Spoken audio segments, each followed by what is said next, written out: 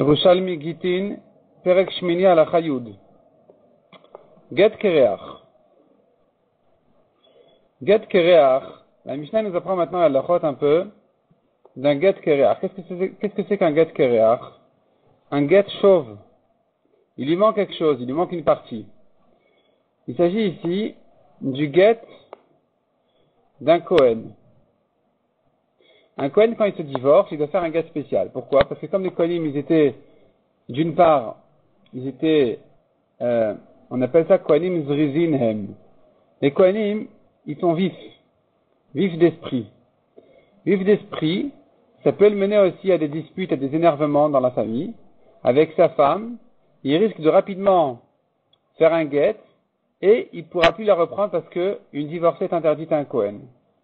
Donc les Chachamim ont institué que pour un Kohen, quand il divorce, il doit faire un guet spécial compliqué, très compliqué, et le temps de le finir, il aura temps de se calmer dix fois. Et le guet compliqué, comment on le fait? On écrit une ligne, on plie, on coud, on écrit une ligne, on plie, on coud, et ainsi de suite. Et à chaque pli, à chaque ligne pliée, il faut mettre au dos du guet une signature. Si maintenant nous avons un guet kereach, c'est-à-dire un guet qui s'appelle en fait get mekouchar. Il est attaché, il est plié attaché, comme le get d'un Cohen. Le get d'un Cohen, le Cohen il fait ce qu'on appelle un get mekouchar. Un get qui est donc cousu, attaché, etc., comme on a dit, alors qu'un get normal, c'est un get pachout. Ici, le Cohen qui doit faire un get mekouchar, il aurait dû signer à chaque pli, et il lui manque ici de signature. C'est ça ce qu'on appelle un get kereach. Un get incomplet. Qu'est-ce qu'on fait pour le compléter? Akol mashlimin alav kedivre benanas.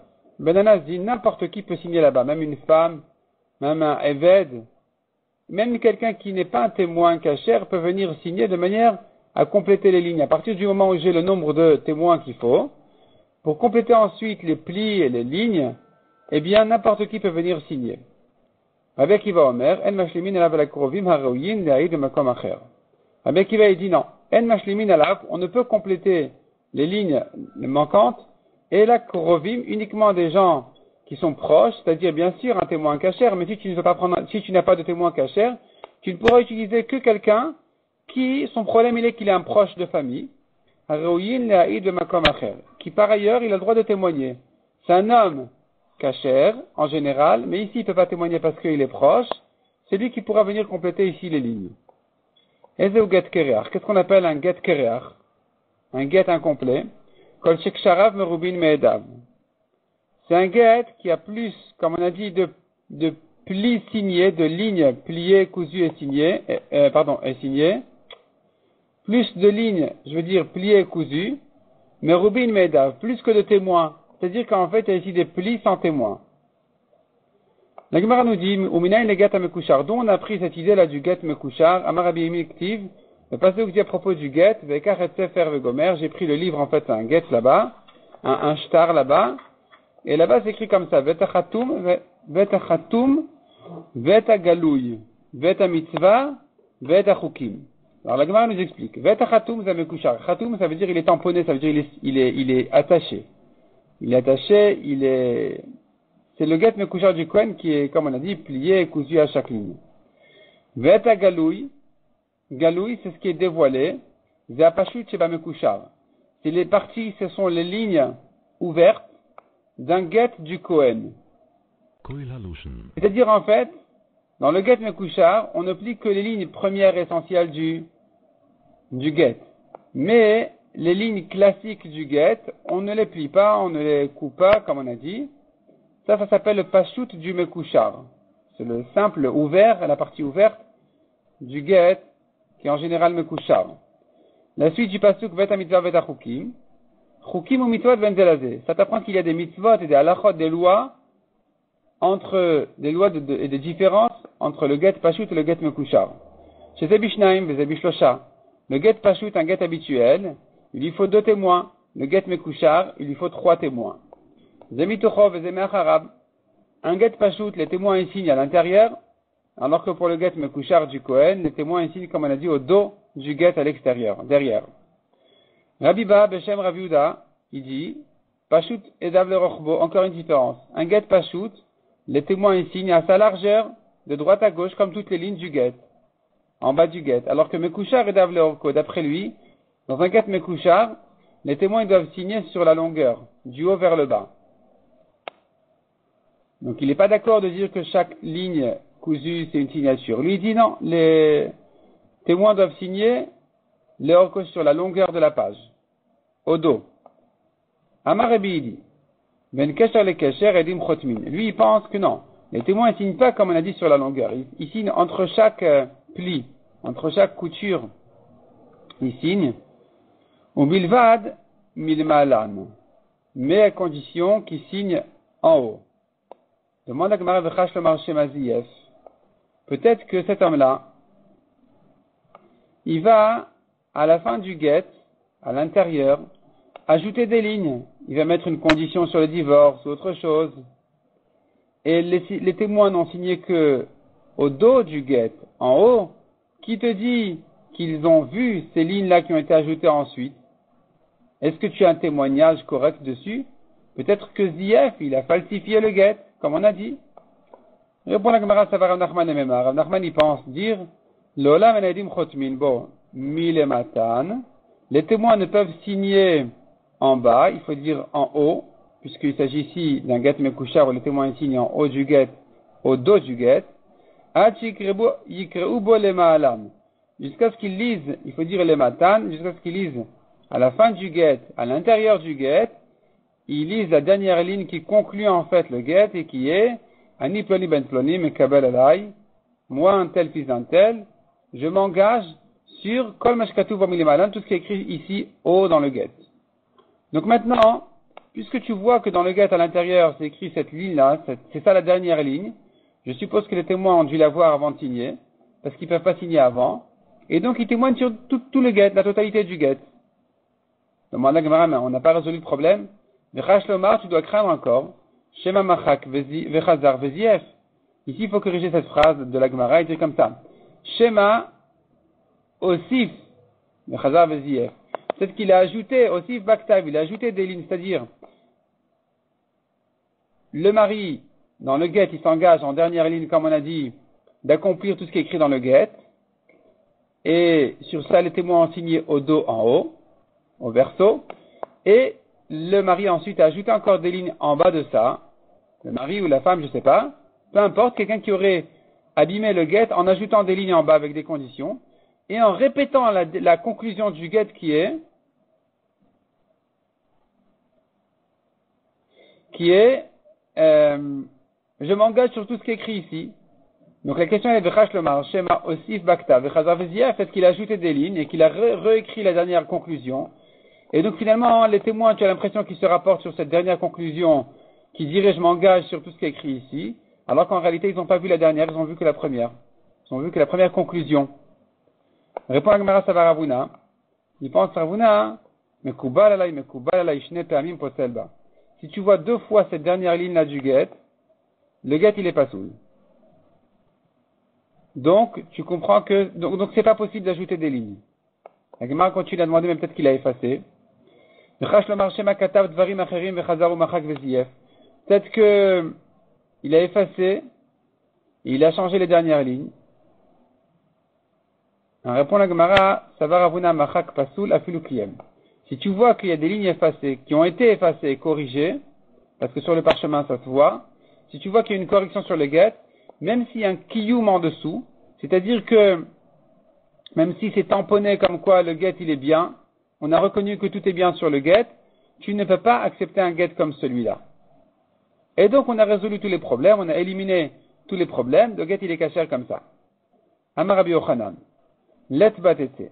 Rabbi Yochanan il dit, tu sais, c'est un get kereach, c'est-à-dire il manquait des signatures sur le get, le get mekouchar du Kohen, il lui manquait des signatures, il n'y a pas à chaque ligne, il n'y a pas à chaque pli, et il a divorcé, elle s'est remariée, on ne dit pas le gars il est pas elle doit sortir de son mari. Il n'est pas d'accord avec Rabbi Yochanan. Il dit elle peut rester.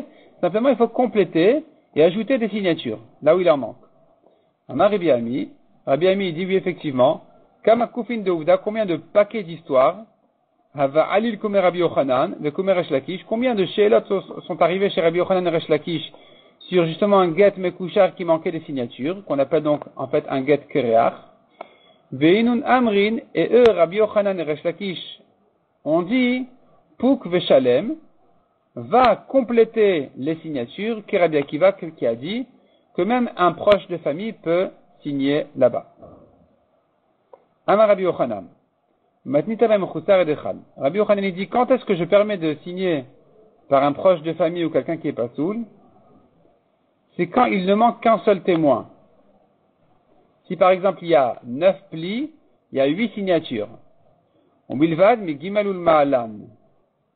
Et deuxième condition, que la signature qui manque, elle soit après les trois premières. Shnaim ou pasoul.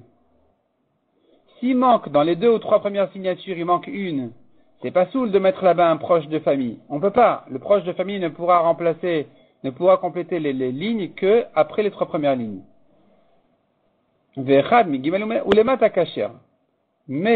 un témoin qui manque après les trois premières lignes, qui sont signées correctement, c'est là où c'est cachère de le remplacer par un proche de famille ou n'importe qui. Rabbi Manabai, Ad Kedun Birtsufin. Rabbi Manaï demande, jusqu'à présent on a parlé, si les proches sont signés d'affilée, sans arrêt un après l'autre. Ayum Suragin, si maintenant c'était un cachère, un pasoul, un cachère, et ainsi de suite, et ainsi de suite, est-ce que c'est un problème? C'est-à-dire comme ça. Les trois premières signatures sont des témoins cachères. Après ça, on a complété avec des témoins pas cachères. Admettons qu'il permet plus qu'un témoin pas cachère est-ce que je pourrais faire un cachère, un pasoul, un cachère, un pasoul ou pas? Ou bien, ou bien disons qu'il ne permet qu'un seul témoin pas cachère. Est-ce qu'il faudrait, euh, est-ce qu'on ne le tolère qu'en dernière ligne, de manière à ne pas interrompre, à ne pas interrompre les, témoins cachères, ou non, il peut même signer au milieu. La Gemara dit c'est pas un problème.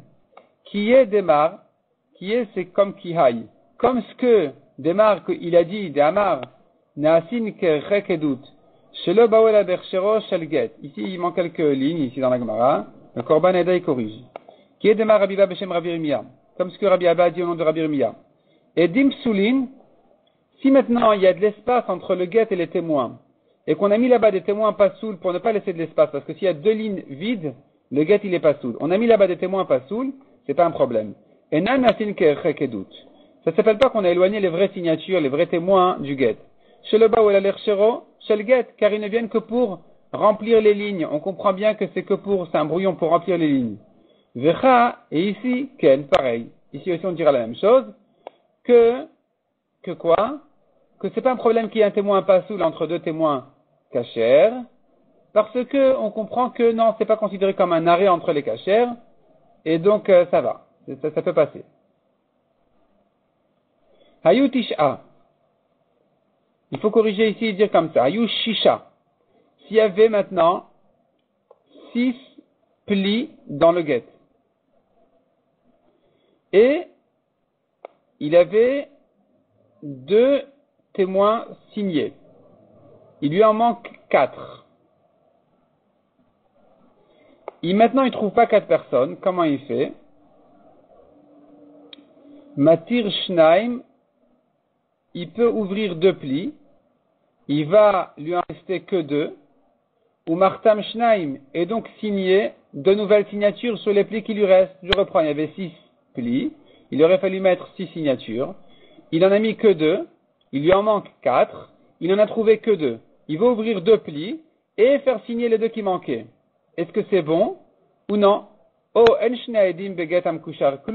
Peut-être que je ne peux pas faire signer deux témoins sur un get mekouchar, c'est-à-dire les deux premiers témoins qui étaient signés à eux seuls, alors qu'il nous en manquait encore quatre, eh bien, ça a rendu le get pasoul parce que c'est pas possible de ne tolérer que deux signatures sur un get mekouchar alors qu'il en fallait trois.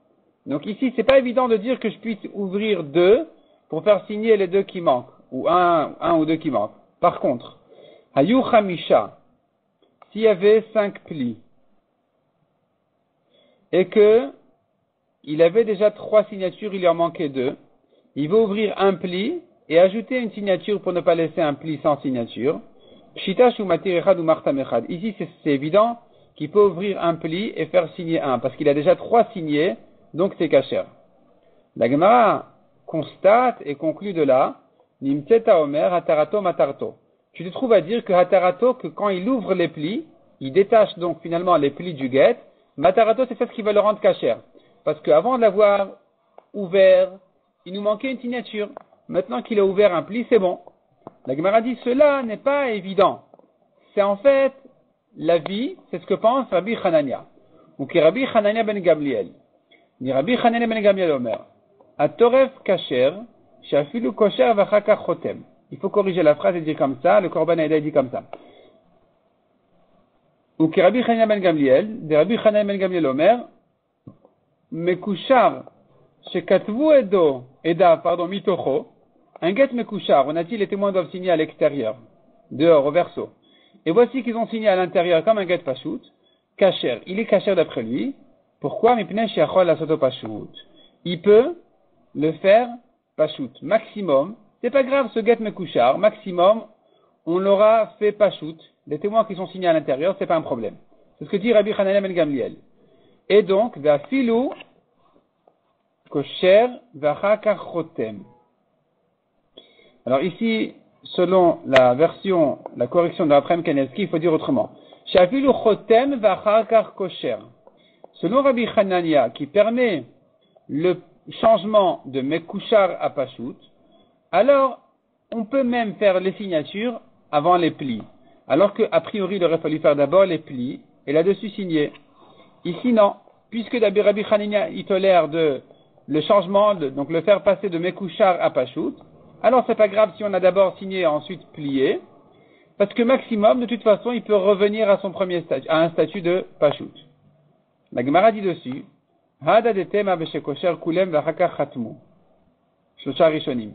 Cette discussion-là entre les Chachamim et Rabbi Hanania, elle est que dans le cas où il a fait tous les plis et ensuite ils ont commencé les trois premières signatures. C'est là où ils sont en discussion. Est-ce que on peut faire un mekouchar comme un pachout. Est-ce que je peux dire maximum il sera pachout C'est pas grave si les témoins sont signés à l'intérieur, c'est pas grave si on a signé avant de, de plier. Euh, ça c'est que la marloquette, que selon les chachamim ça passe pas. Non, il faut absolument le faire comme un mekouchar. Donc au dos du guet, au verso, et puis d'abord faire les plis et ensuite les signatures, et pas le contraire. Cette marloquette là que selon Chachamim c'est pas bon le changement et selon Rabbi Hanania c'est que dans les trois premières signatures. Avalim kosher shlosha rishonim vechotem. Mais s'il a fait les trois premières lignes correctement, il a plié et il a signé ensuite.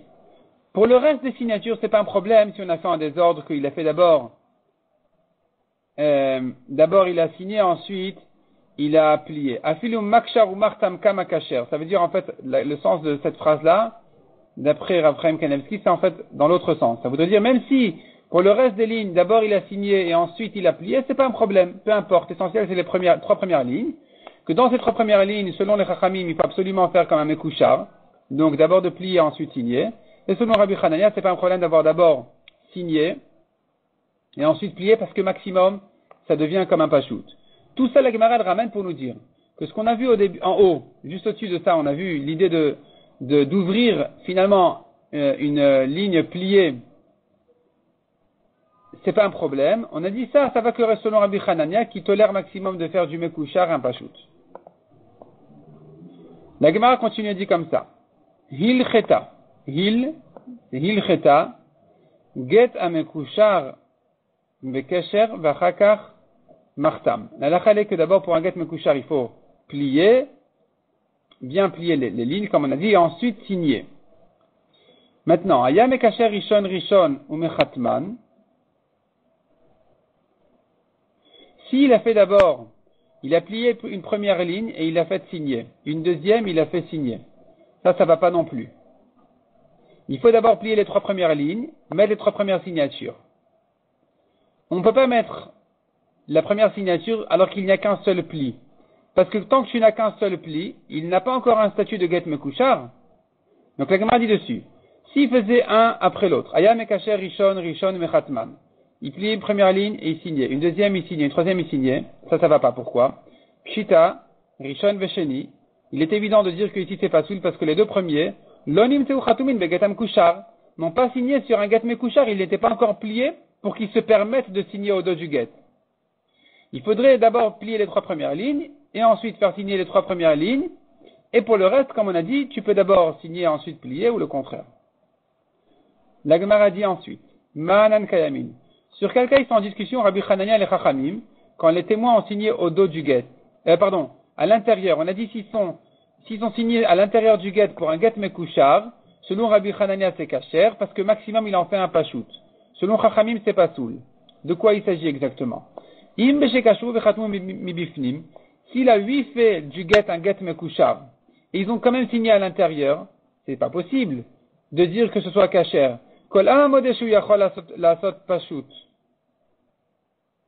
Non. Euh, S'ils sont signés à l'intérieur,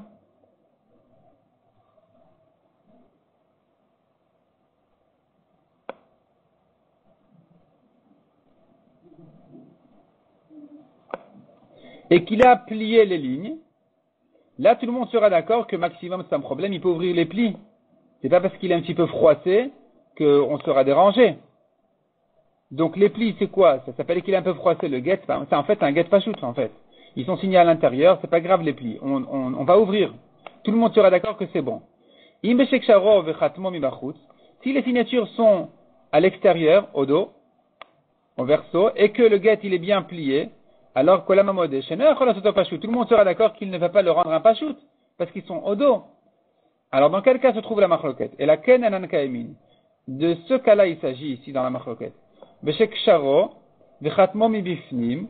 Donc il a fait les lignes, il les a bien pliées, et il a, signé à l'intérieur, il a fait encore des signatures à l'extérieur. Bref, il est signé à l'intérieur à l'extérieur, et il est plié comme un mekouchar. Sur ça, c'est la machloket. Beda Rabbi Chanina ben Gamiel Omer Yacholahu la soto pashut. Rabbi Chanina dit, mais quel problème? Maximum, il peut l'ouvrir, ça devient un pashut, on, pourra se servir des signatures de l'intérieur. Selon les Chachamim, non, puisqu'il y a des signatures à l'extérieur, c'est un mekouchab. Et Shiv Rabbi a livré Rabbi Chanaya ben Gamliel. Rabbi objecte Rabbi Chanania. Il dit comme ça. Goufa shel get chalab. Il dit, je comprends pas comment tu dis ici que maximum le get il deviendra un get pashut, on va l'ouvrir. On pourrait prouver du texte du get lui-même, im pashut ou vimeno pashut. Qu'est-ce que ça veut dire maximum il en fait un pachout Ils sont différents. Tu peux voir sur le guet lui-même s'il est pachout ou pas. Quelle est la différence? De quoi a l'air le guet lui-même? Amar Abiba, qui est de Maravuna, comme ce que Ravuna a dit. Les témoins ne peuvent signer en bas que s'ils ont lu le texte en haut, qui dit Ani ploni ben ploni moi un tel fils d'un tel, je m'engage sur tout ce qui est écrit sur le guet. Et donc tu vois que ça, cette phrase-là, c'est une phrase d'un guet mekouchar, qui ne se trouve pas dans un guet pachout. Dans un guet mekouchar, il faut conclure le guet, parce qu'on ne sait pas sinon où il se termine. Les témoins ils signent en fait au dos, en haut. On ne sait pas donc sur quoi, jusqu'où ça va le guet. Donc il faut conclure le guet par cette phrase-là. Donc si tu vois cette phrase, c'est un mekouchar, sinon c'est un pachout. Qu'est-ce que ça veut dire de, Qu'est-ce que ça veut dire de, faire d'un mekouchar un pachout Comment ça marche? La Gemara dit pourquoi pas? Vatani, pourtant on a appris, Tofas. Dans n'importe quel shtar, même pachout, ça fait partie du texte du shtar lui-même de conclure à la fin, comme ce que nous, dans nos shtarot à nous, on dit Akol Sharir Vekayam à la fin, comme on dit par exemple dans la Ktuva, eh bien dans n'importe quel shtar, il était habitué, ils étaient habitués de terminer par cette phrase-là. Pourquoi tu dis que c'est une phrase qui est particulière pour un get euh, Mekouchar? Non, pour un baguette pachout, ça va aussi. répond la Gemara. Amar Abimana, Tofesh Tarot Mekoucharin, Kahu. Le texte d'un shtar mekouchar, il est comme ça. Et pas le texte d'un shtar pachout. Donc, première réponse dit la Gemara, c'est une phrase qui n'est adaptée qu'à un get mekouchar et pas un get pachout. Ne comprends pas dans Tofas Tarot Kenu que ça veut dire n'importe quel shtar, même get pashut, il se termine par cette phrase-là. Non, c'est une phrase qui, n'est, qui est particulière à un get mekushar. Tofes Tarot Mekusharin Kahu. C'est que pour un shtar mekushar que je fais le Tofes, donc le texte du shtar comme ça. Donc finalement, Rabbi, il a raison d'objecter. Tu devrais reconnaître par le shtar lui-même s'il est pashut ou mekushar en fonction de cette phrase-là. Si elle apparaît, c'est qu'il est mekushar, sinon il est pashut. Comment toi, Rabbi Hanania, tu veux dire, demande Rabbi, qu'on puisse faire d'un mekushar un pashut. La Gemara donne une deuxième réponse. Amar Rabbi Avina, filu teimar, ou pashut ou mekouchar. Même si tu veux dire que aussi bien le pashut que le mekouchar, il se termine par cette phrase-là. Il y a quand même une, différence importante. Mekouchar ou meakev? Pashut et non meakev. Dans un shtar mekouchar, cette phrase-là, elle est indispensable. Sans cette phrase-là, le shtar, il est pas soul. Alors que dans un get pashut, cette phrase-là, on peut la mettre, on peut ne pas la mettre. Donc si maintenant tu vois cette phrase-là, tu comprends qu'il est mekouchar. Parce qu'en principe, c'est dans le mekouchar que cette phrase-là est indispensable. C'est pour ça que Rabbi a objecté. Si tu vois cette phrase-là, c'est qu'il est mekouchar. Comment tu en fais un pachout Quoi, tu me diras dans un pachout, c'est pas meakev, mais ça peut se mettre quand même. C'est une phrase qui est essentiellement adaptée pour un get mekouchar. Donc c'est pour ça que Rabbi l'objecte. C'est pas normal de faire passer d'un mekouchar à un pachout. Rabbi Acha. La Gemara ici se rapporte sur la Mishnah là-bas dans Baba Batra, toujours sur ce sujet-là, si on peut faire d'un mekouchar un pachout, si on peut signer à l'intérieur et tout ça. Et là-bas, la Mishnah dit, Akol Kemina Gamedina. En fait, tout dépend. La Mishnah conclut là-bas en disant, tout dépend de l'habitude de l'endroit. Qu'est-ce que ça veut dire? Alors il explique Rabbi Amar Bemosif al Tout dépend du minag s'il ajoute sur la. C'est-à-dire comme ça. Pashut bishnaim. Un get pashut se fait par deux témoins. Ou minag bishlosha. S'il y a un minag de faire signer dans cet endroit-là trois témoins même sur un get pashut, alors, comme on a dit, à kol minag medina, on va selon le minag, aussi notre bishlosha, il faut en faire trois. Mekushar me'achorav. Un get mekushar, en principe, on le signe au dos, à l'extérieur, au verso du get. Ça, c'est la halacha. Si maintenant il y a un minag de dire mitocho me'achorav, qu'on le signe à l'intérieur et à l'extérieur, alors aussi me'achorav, c'est comme ça qu'il faut le faire. La Gemara continue à remarquer. Nita'acha, utninta taman. On a ramené cette halakha aussi bien ici que là-bas, dans Gitin et dans les autres shtarot. Que s'il y a eu un changement dans le shtar, qu'il a été signé au dos au lieu de à l'intérieur, ou le contraire, dans un, shtar pachout, c'est pas soul. Donc un shtar habituel qui doit être pachout et pas signé au dos, s'ils ont signé au dos, c'est pas soul. Et cette halakha été ramenée aussi bien à propos d'un get d'une femme que d'un autre shtar. Pourquoi on l'a répété deux fois? La Gemara dit Hevet ataman. Il se trouve qu'il fallait le dire là-bas. Pourquoi? Parce que ilutnin ta'acha, velotnin tataman, si on ne l'avait appris que ici, pour le divorce, pour le get d'une femme, et pas là-bas pour un autre shtar, à Vinan Amrin, on aurait dit, Achal, Chomer Barayot Pasul. Ici, c'est une question de mariage, de divorce cette femme-là, elle va se remarier, tu peux rien tolérer. Donc s'il y a eu un changement n'importe lequel, les signatures sont au dos au lieu d'être à l'intérieur, c'est pas soul. Par contre, j'aurais dit, Taman al sheno chomer be'arayot, pour un autre shtar qui n'est pas une question de mariage, de divorce, kacher, j'aurais dit que c'est kacher. Heve taman. Donc tu te trouves dire qu'effectivement il y a eu, il y a eu une nécessité de ramener cette halakha là-bas aussi. Oh, et inversement, ilu taman velo si on ne l'avait enseigné qu'à propos d'argent, des shtarot d'argent, velo matninan acha, et pas ici à propos d'un guet d'une femme, avinan amrin, on aurait dit, taman alide shehu govebo pasul, pour un shtar d'argent, puisqu'il va encaisser avec de l'argent, alors, on ne peut pas se permettre de faire des changements. Il y a une responsabilité ici sur l'argent. Donc, s'ils sont signés au dos, va savoir, peut-être qu'il y a un problème, c'est pas soul. Mais ici, ce n'est qu'un guet d'une femme, J'aurais pu croire que c'est pas grave qu'ils aient signé au dos, au verso, il serait caché. Et. Je te trouve dire donc qu'il y a eu une nécessité de, l'enseigner à propos des autres shtarot et à propos, donc et à propos d'ici du gars d'une femme et à propos de là-bas d'un autre shtar d'argent.